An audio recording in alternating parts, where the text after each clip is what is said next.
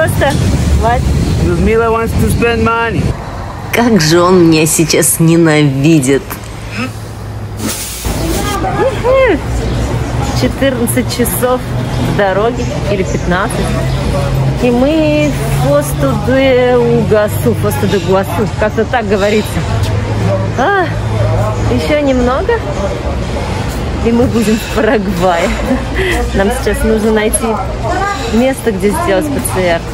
Я никогда не привыкну к этой процедуре по сбору этого теста. Прям вот так больно, как будто в мозге ковырялись.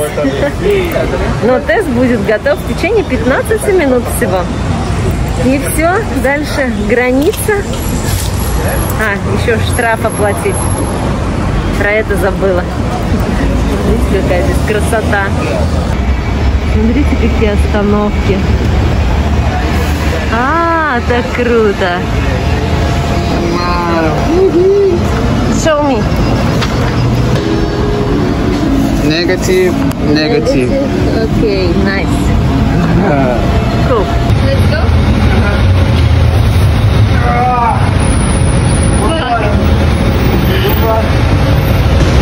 Вот так просто люди пересекают границу, а мне нужно идти в участок, чтобы поставить штамп о том, что я выбыла.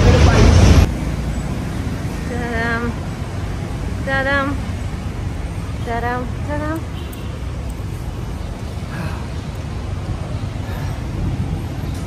Vamos. Ну все, штамп о выбытии поставили. Теперь пересекаем границу. Вот эта вот река служит граница здесь. Люди просто переходят, просто без ничего. И машины также. Никто никого не проверяет. Бедный запыхался. Муравей. М-м. Река красивая.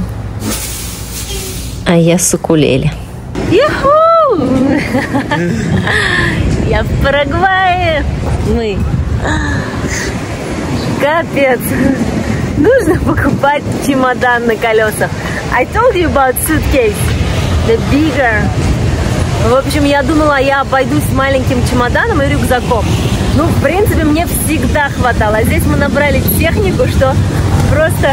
What? Ludmila wants to spend money. Да, я хочу потратить деньги на чемодан. No, no, no. Амбер хочет таскать вот такую вот огромную сумку. Он вообще как муравей с, этой-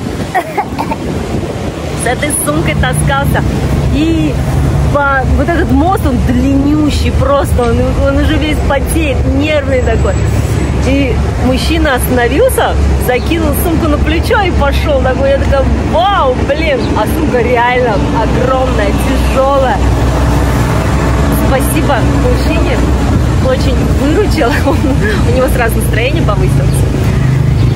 В общем, это было так легко. Э, ну как легко? Нам дали, мне дали штраф 100 реалов, 100 рублей хотел сказать.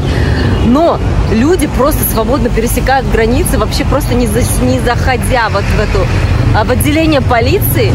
А, мы шли, зашли, потому что мне нужно было штамп о том, что я выбыла из Бразилии, и потом поставить штамп о том, что я прибыла в Парагвай.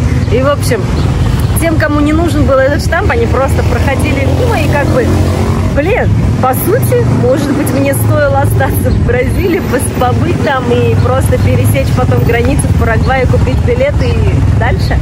Я не знаю. Ну, зато побывали в новой стране. Сейчас душ, завтрак, обед, завтрак, обед и все, и свободны, отдыхаем. Вместо душа я села за субтитры, которые не дописала в автобусе. когда нет интернета и компьютер где-то там далеко, приходится писать субтитры вот так.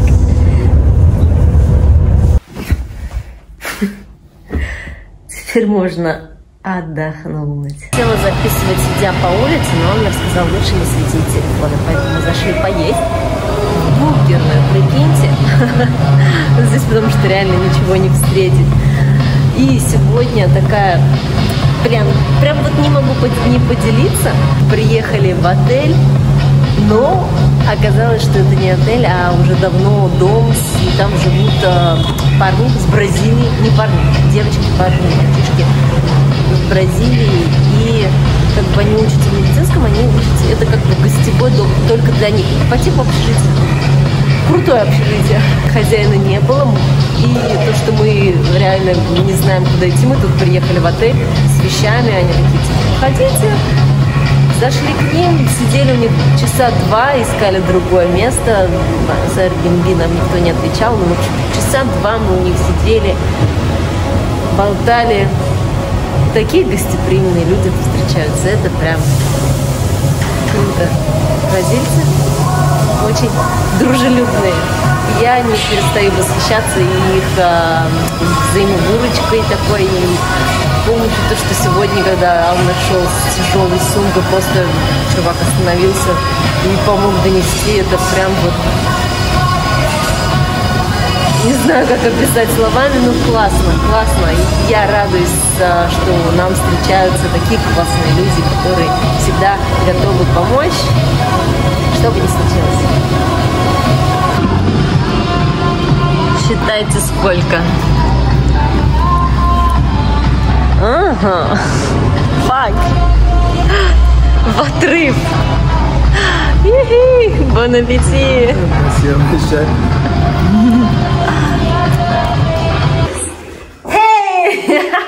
Привет из Бразилии. Один день.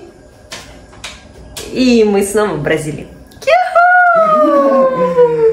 And again. Спокойной ночи. У нас ночь.